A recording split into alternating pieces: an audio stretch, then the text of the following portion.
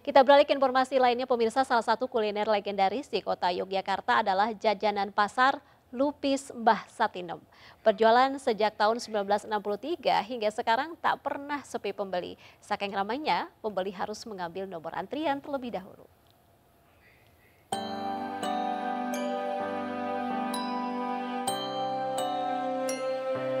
Berlibur ke Yogyakarta, tak ada salahnya untuk mencicipi kuliner jajan pasar legendaris satu ini. Ya, jajanan pasar tradisional Lupis Mbah Satinem sangat cocok untuk dinikmati pagi hari. Mbah Satinem berjualan lupis di emperan toko di Jalan Bumi Jog, Yogyakarta sejak pukul 6 pagi hingga 10 siang.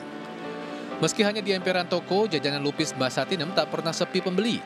Saking banyaknya pembeli, tersedia nomor antrian yang disediakan untuk para pengunjung. Mbak Satina merupakan generasi ketiga yang meneruskan berjualan lupis sejak tahun 1963. Tidak heran resep olahan lupis yang secara turun-temurun tetap konsisten dilestarikan ini memiliki cita rasa manis legit yang memikat di lidah para pelanggannya. Uniknya lagi, kue lupis dipotong bukan menggunakan pisau, melainkan menggunakan benang. Kan sudah dari tahun berapa Mbak? Tahun 63. Sudah sampai turunan ke berapa? Tiga. Turunan ketiga. Jualan dari jam berapa sampai jam berapa Mbak? Hah? Jam setengah enam. Kadang ya paling telat jam 10 jualannya.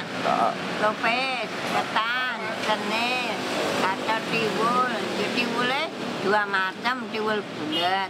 Regane satu bungkus ya 10 ribu. Tidak hanya dari dalam kota, jajanan lupis Mbak Satinem ini juga sering menjadi rujukan bagi para wisatawan dari luar Yogyakarta. sering beli uh, lupis di sini? Saya kebetulan baru ini, Oh.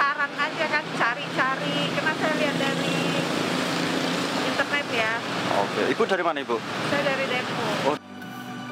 Nah, selain lupis, Mbak Satinem juga menjual beberapa jajanan pasar lainnya, seperti ketan, cenil gatot, dan tiwul. Harganya pun cukup murah, dengan uang Rp10.000 saja kita sudah bisa menikmati jajanan Mbah Satinem yang legendaris ini. Dari Yogyakarta, Galih Wisma, iNews melaporkan.